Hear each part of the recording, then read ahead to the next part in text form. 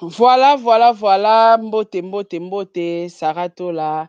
Toza wana tosalelaka bino musala analyste chroniqueur en tout cas lelo oyo naye na masolo ya football hein? dernièrement towutaki koganye 1-0 e, na ye lisusu na joueur na biso ya mboka international jogo shikito lema mabidi en tout cas tozala na ye lelo na plateau tokomeka mpe kosolola makambo etali bale parce que tozokota kota baplace nyonso moyen nasala badedicace eza te parce que nazwi ye à pied levé aza na entraînement e tellement ka eza appel ya sara tola yango andimi invitation na biso tokotisa ye déjà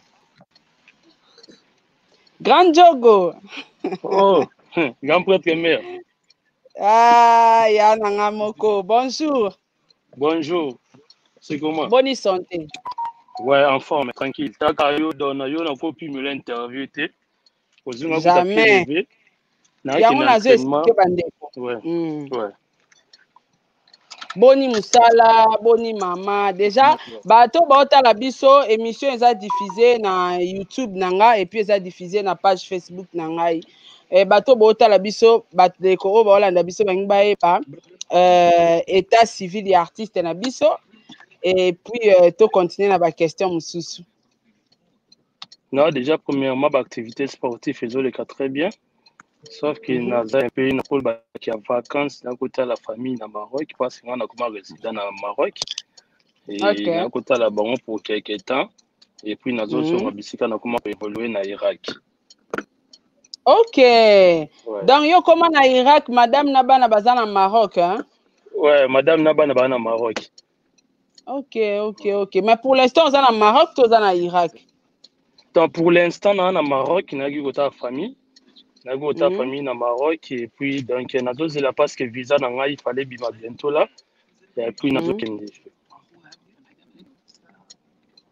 En tout cas, merci beaucoup, euh, Djogo Shikito Tozio, vraiment à pied levé. Bandeko, Batala Biso, Baebi, que Azala, euh, joueur, il y a vite, euh, il y a Vita, a marqué trop na Vita. Yebisa Biso, non, Djogo, est-ce que place oyo évolué sikoyo?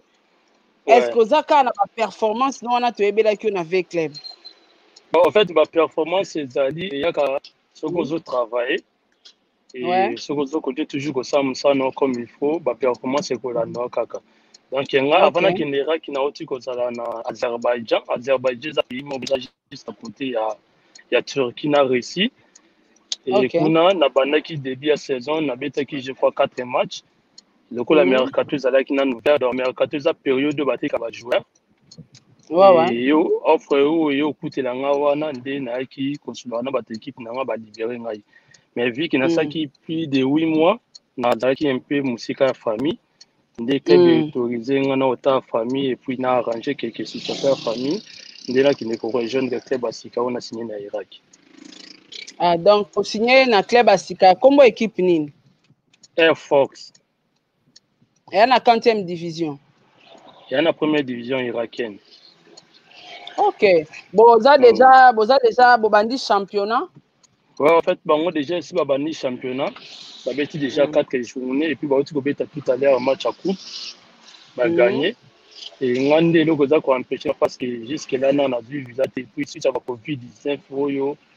Ok. ba visa ekomi vraiment un peu difficile pour que ba ambassade elivre mais ngai tant que joueur fin de fin nakozwa yango kaka même si ça a pris du temps mais kala te nakokende pour jeune de club na ngai Na ekipe oyo uti ozala na Maroc. Avant olongwa, omarkaki combien de buts? en fait na maroc awa Avant nakende nano Azerbaïdjan, nazali na Raja de Casablanca ya Maroc. Awa nasali 4 saisons. Et mm -hmm. puis Maroc eza pays moko boye kitoko, eza pays oyo vraiment na na se sentaki à l'aise dans c'est comme si naza kaka chez ngai. Yango moni ke nandimaki à chaque fois nazongaka nafandaka yango na installa vraiment awa. Et namakaki mm -hmm. babi ebele eh. na manquaki mm. au moins na manquaki au moins ba 8 si je me trompe pas sans compter mm. ba match ya coupe d'afrique mais na championnat na bango na manquaki 8 bi donc oyebi ke nga na médiateur na marka trop te mais lorsque je mm. marque eza babi moko etikalaka vraiment na histoire voilà. mm. yeah. Eh. Et...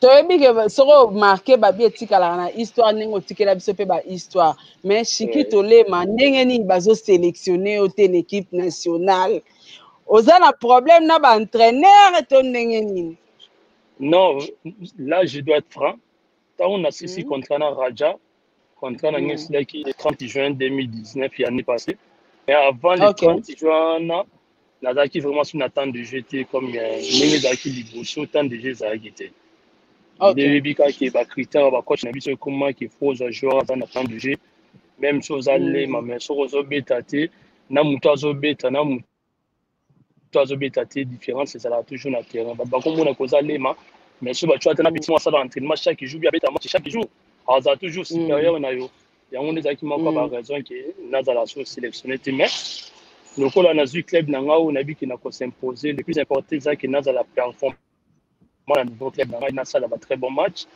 et puis coach soki amoni ke nakoki koapporte quelque chose na philosophie na ye akosala appel na ngai mpona kozala pre mpona kodefendre mboka na ngai merci beaucoup vraiment na baréponse na yo eh, na irek bosali boza na contrat ya combien d'année na bon, euh, là, nini air force non là na signé juste na signé juste ka une saison Et donc, mm -hmm. normalement, contrat en anglais, c'est le 31 juillet, il y a 2021. Mm. Mm. Shiki Tolema, ndenge oza libanda ya mboka, ndenge ozotala ozotala bale ya Congo. Ezo évoluer to ezo évoluer te. Et puis ndenge ozomonela yango ezokende ndenge nini? Évolution ya bale ya Congo. Évolution na niveau ni na niveau ya championnat local to na niveau équipe nationale. na niveau ya championnat local et puis na niveau équipe nationale ah bon nga na koloba ki moi évolution ezali hein parce que mm. tokoka koloba kaka mabe te ke non championnat biso eza koévolue te mais par rapport kotala ndenge biso tobeta badina foot na kotala mm. tout omonake mwa changement ezali Donc balobaka mm. soki eloko malamu esalama il faut ko kokumisaka pour que epesa bato bazosala eloko wana makasi ya ko ya ko améliorer lisusu biso tobetani na foot omona ke bekipe mosusu bazopula na baforfait mpo bazalaki na bambongo ya viande te mais komona cette fois-ci gouvernement ezwi charge ya kofutela baclub nyonso ba billet d'avion c'est déjà une bonne chose ngapo nango namonaki eza déjà un pas vers l'avant mais ezosenga mm. kaka ba dirigeant na biso bameka vraiment mm. ko, kotya bamoyen surtout na football parce que cette discussion bacongolais batikala nango trop etikalaka musique na football bameka mm. vraiment kotongela biso bastade e bameka koencadre jeunesse oyo ezoya parce que bango nde baza balema lobi mm. baza ba Shamini na lobi baza ba Luvumbu ba Mbele na lobi donc euh, mpo na équipe nationale mpe namoni ke changement ezali donc euh, mwa makambo eza koévolue liboso surtout biso tanouta libanda oya avion ozoya na classe économique makolo elembi yo osala 8 heures du temps vol mais tour tokoma oya na ba business classe omona que c'est déjà mm. un pas vers l'avant mm. en tout cas sikoyo ndenge yo oza libanda boye parce que on dirait bale bakombo bino bosali na football lelo on dirait tozoyoka yango mpenza mpenza te mm. est ce que ndenge oza libanda na bandeko no batikala kobeta na congo awa bakombo nini oyo ozoyoka mpenza ke so, oh, na bajoueur nini oyo soki ozotala bango bibe mm, biso tobeta me ye mpe mpenza azobeta ata 3 4 joueur si tu peux citer des noms bon en vrai dit là je dois être franc mm -hmm. na vraiment nazwi tante ya kovanda vraiment cette année nalandela vraiment championnat linakuti na ye bajoueur nini azobrille joueur nini azobrille mm. te mais nalandelaka toujours mobe information Question moko ezalaka plus important neti koyeba par rapport à ba organisation ya championnat, ba déplacement ya ba équipe omoni. Mais vraiment na nazui temps te natala championnat ya Linafoot nayeba que non joueur à part oyo namoni babengaki na équipe nationale cette fois ci neti Dar Kabangu, Joël Beya omoni ba joueur wana nde namoni que non peut-être baza ko promettre mpo na football ya Congo mais na nazui ma temps ya kotala Linafoot te. Mm -hmm. En tout cas, merci beaucoup. Tokota na actualité, hier, tu gagnais 1-0. Mais est-ce que quoi expliquer biso loke eza métier eza domaine na yo nini esalaki ke na match ya aller to gagner te tokende 0-0 nini esalamaki kotala ndenge otalaki bajoueur banda obeta bale nini ezangaki biso mpo tomarke bi na aller na biso na angola non en fait nga nakoloba eza kaka ke eloko ezangaki biso ezalaki na yango te eloko ezangaki biso ezalaki kaka toza na biso vraimen na chance te omoni football mpe etambolaki na facteur ya chance ekotala angola déjà un soki tokei na na logique des choses angola atikala koganye biso te soki topola na angola je pense pas keleki ata deux fois na, na, na mm. vraiment na, na bahistoire boye angola aganyaka biso na pasi et puis match ale ezalaki très ouvert de même que match retour ezalaki ndenge moko Angola mm. vraiment aza faute ya ligue te na na poule na biso sauf que mm. tozalaki mwa lucidité ezangaki biso na match aller et ba changement ezalaki un peu tardif mm. ba changement ezalaki un peu tardif tant tomonaki entre ya bolasi ya gael kakuta na cédric bakambu eyaki kobouge un peu défense ya équipe adverse même si tozwaki baoccasion mais tomarakaki te mais na match mm. retour tokomonaki osanti Il y a vraiment un fond de jeu. Bon senti mm. ba combinaison ezalaki bien et puis Dieu nous a fait grâce coaching ya kozala paya ntango bayaki kokotisa kebano et puis lorsque batiaki kebano na place na ye donc na poste oyo abetaka vraiment parce que kebano c'est un 10 kebano n'est pas un, n'est pas un ailier abetaka sur le côté mais toi tomoni batie vraiment na position na ye ayaki olakisa mm. ndeko il est capable et puis na ndenge ayaki komarke donc nana kolobaka ke Eloko ezangaki biso na match aller ezalaki chance et puis na match retour ba masta ba muyaki mayo bazalaki vraiment concentre et dejà kotala ki Gambie dejà gagnaki Gabon et nous on n'avait pas droit à l'erreur et kosala match nul bien kopola ezalaki dejà kozala mosika ya course. Mm. En tout cas, merci. Moi, commentaire na, na victoire na biso à lobby.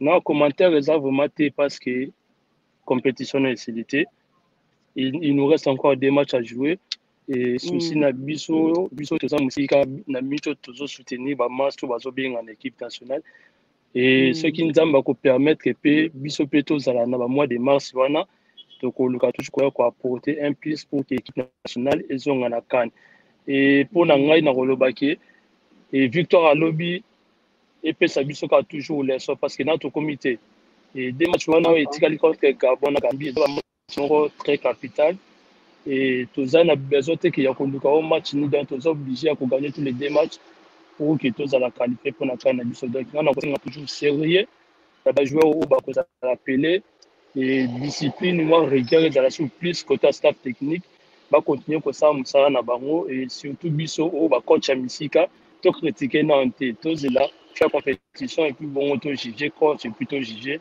na bajoueur oyo baza apele na équipe nationale Merci beaucoup Shiki Tolema Mabidi. Je crois tokomi na suka émission na biso, totiki ozosala musala. Mais yebisa biso quels sont tes projets d'avenir? Ozo penser nini na football à Congo et puis pour na carrière na yo? Oh, bon, en fait, euh, ba projets za mo ebele na koloba mwa nyonso na tele te.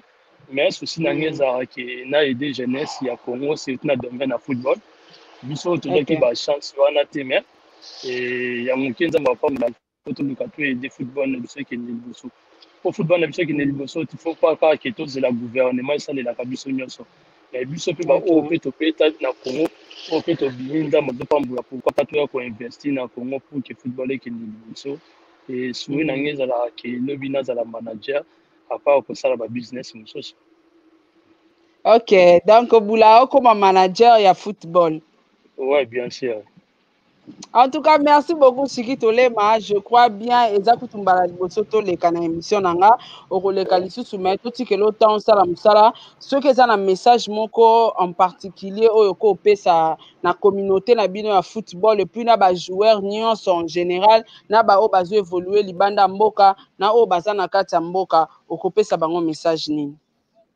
na baoyo bazobeta libanda ya congo ils sont déjà professionnels bayebi ke bayebi baexigence ya football babi oyo nini football esenga surtout kobeta football ya libanda eza vraiment facilité e mm. bamatch to bazobeta na congo souci ya joueur nyonso azobeta na congo ezalaka kaka ke abima libanda ya congo Et, mais ouais, soki ouais. oza na besoin obima libanda congo ezosenga toujours ka discipline ezosenga sérieux kotya rigueur na mosala e yango nde mm. ezalaka secret ya réussite e mm. mpona komona babiso bisika tozali tosalaki magie te mpo tokoma eza ke totyaki mm. mwa sérieux toyebaki oyo nini tozoluka e bisika mosala ezosalama bien nzambe atya toujours loboko na kosenga bino bozala discipline na baclub na bino aka badirigeant surtout mpo na bato baevolue na congo bamaster oyo baza koevolue libanda discipline kaka ebele e boluka toujours kozala performant na baclub na bino parce que congo aza toujours na besoin na biso nyonso Mm. En tout cas, merci beaucoup, euh, Chiquito, les Mamabidi, joueur international. En tout cas, un mot de la fin, moi, bah, dédicace, na évité, soro, pesa, banani, lilobano, asuka. Non, dedicace eza vraiment te et merci na bato oyo nyonso balandi biso na temps oyo oyo ba disposer En mwa tout quelques cas. minutes na bango mpo ke balanda biso et Mhm. bambote na bino tokotanga bango nyonso te merci na peuple congolais nyonso oyo basutenaka nga de près de loin na baconseil na bareseau sociaux nzambe akontinue kozala na bino bapriere na bino esala ke lobi na bino akende liboso puis pour que toya ko aider pe oyo baza na Congo. En tout cas, merci beaucoup Shikitole Mamabidi. Wana na retiré yo pour que continuer musala na yo. Allez, bon après-midi. Bye. Mer euh, merci à toi Ekanima. Merci beaucoup. En tout cas, merci beaucoup na Chikito Lema Mabidi, joueur, joueur international, ou à Cartona Bongo na V Club et puis azo évoluer na Mboka ya international. En tout cas, un grand merci na bino bato yo bo disposer temps na bino pona Rolanda biso, bo tchela biso ba like, bo partager vidéo. En tout cas, toza wana pona bato nyonso, Saratola TV eza mpo na bato nyonso bajoueur baartiste peintre bato nyonso tu oyo aza na message to alingi aleka na sara tola tv numero de contact eza wana en tout cas un grand merci na amelia mweba motema ya orlando domingos pourquoi pas un grand merci na héritier kiaba motema ya chéri o oh, dina kupembele je te dis un grand merci à toi aussi un grand merci euh, na bamelomane nyonso ya bonne musique oyo oh, balingaka musique na biso ya Congo ekende liboso bo continuer ko ko ko ko, ko somba sambole na ba plateforme nyonso et puis bo continuer ko s'abonner massivement na chaîne YouTube ya artiste et puis bo partager ba video bo somba sambole ekozala malamu mingi au revoir à la prochaine émission ciao